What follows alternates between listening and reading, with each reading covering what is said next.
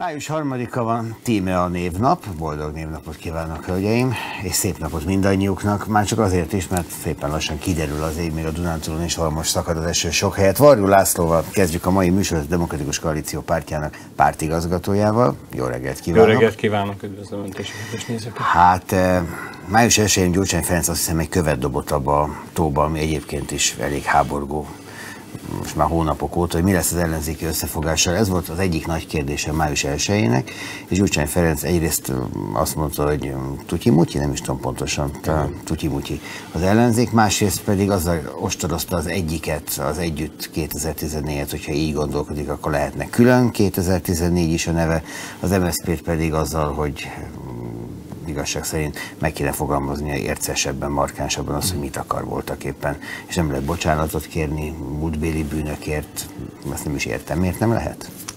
A demokratikus koalíció lényegében megalakulása óta hangsúlyozza azt, hogy az ellenzék összefogása az, ami eredményre vezethet. Ebben az évben ez már nem az első alkalom, hogy elnök úr ilyen határozott mondatokat fogalmaz meg.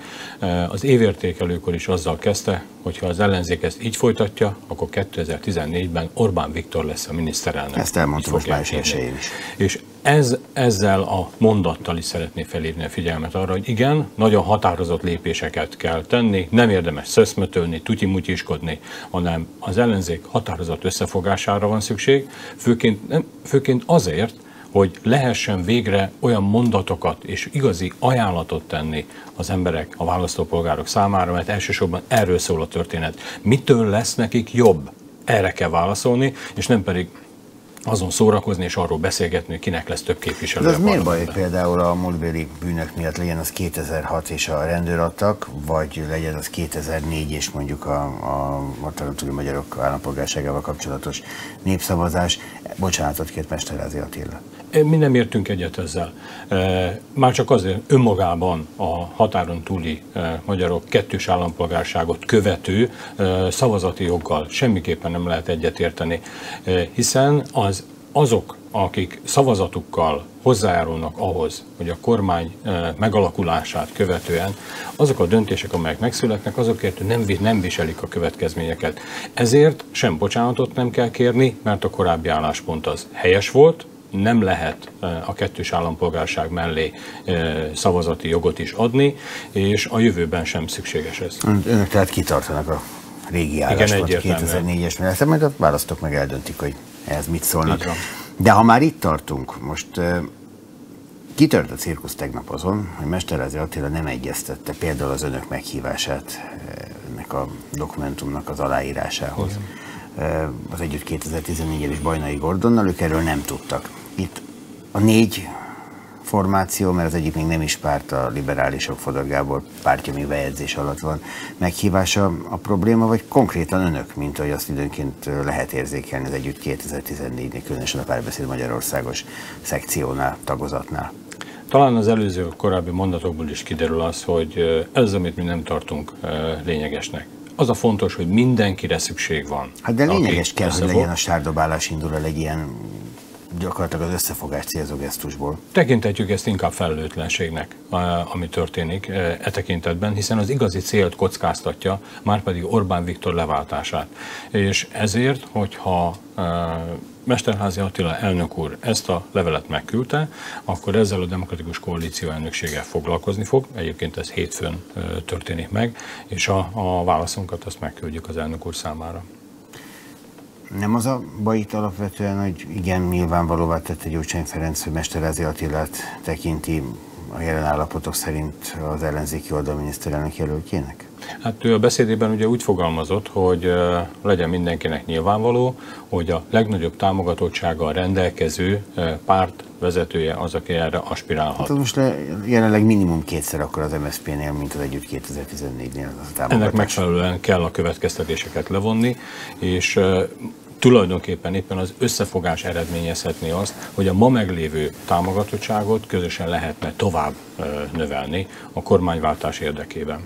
Mit szól a trafikügyhöz? Hát ugye ez a világ botránya, ami történt. Olyan lehetetlen helyzetet teremtettek családok tízezrei számára, akik évtizeden keresztül, sőt évtizedeken keresztül végeztek tevékenységet, volt biztos megélhetése a családnak.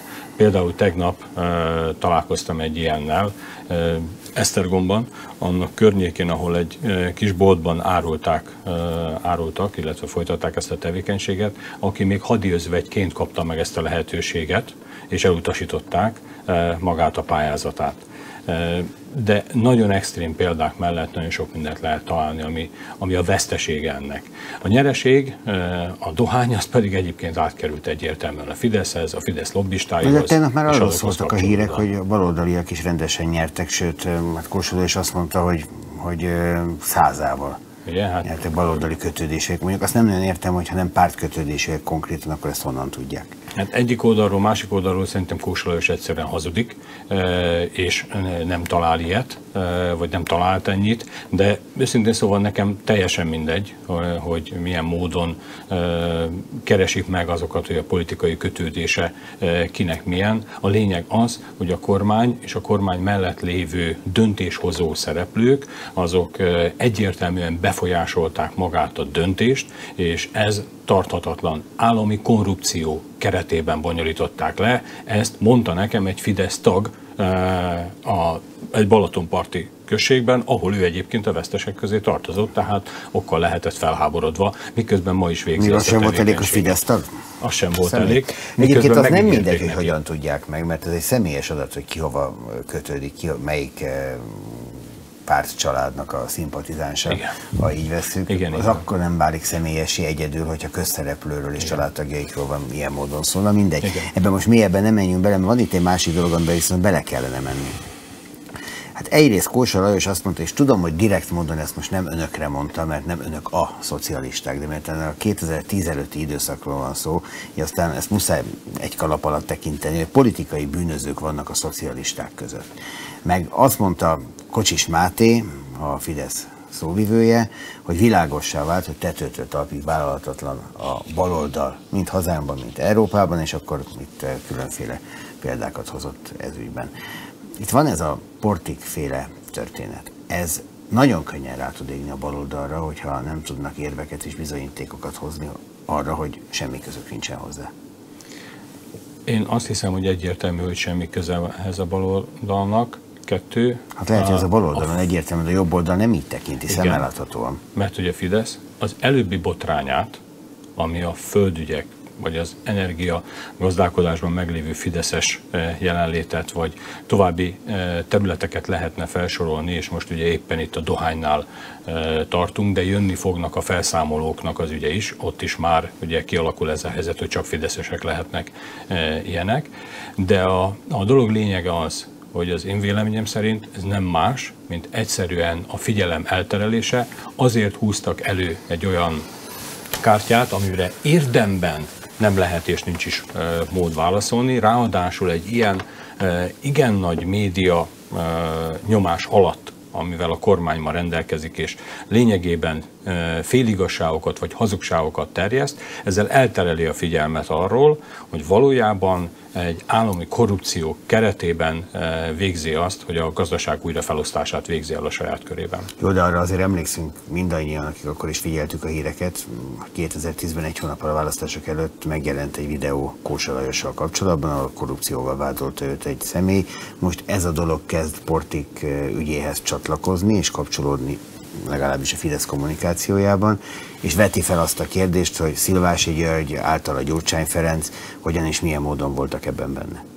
Ugye ez egy mint ahogy az előbb is hangsúlyoztam, egy tervezett kommunikáció, amivel igyekeznek másokat... Na de eltelt az a három év. Hát ez most három év elteltével kerül megint elő. Igen. Nem sokára. De már akkor is előkerült. Ha így folytatjuk, akkor azt is elő fogják venni, hogy Deutsch Tamás nagymamáját lehallgatták. Tehát Arról sem tudtuk meg soha, hogy végül mi történt. Így ott. van, és ennek is ugyanez lesz a vége. Egyszerűen azt a területet, azt a felületet akarják elfoglalni, amelyben az embereknek a figyelmét ilyen módon elvonják. Ahhoz van kommentárja, egy demokratikus országban nincs helye az MSZP-nek? Hogy ezt mondta tegnap reggel Kósa Lajos. Ugye ennél már keményebbel is próbálkoztak, törvénybe is szerették volna ezt foglalni.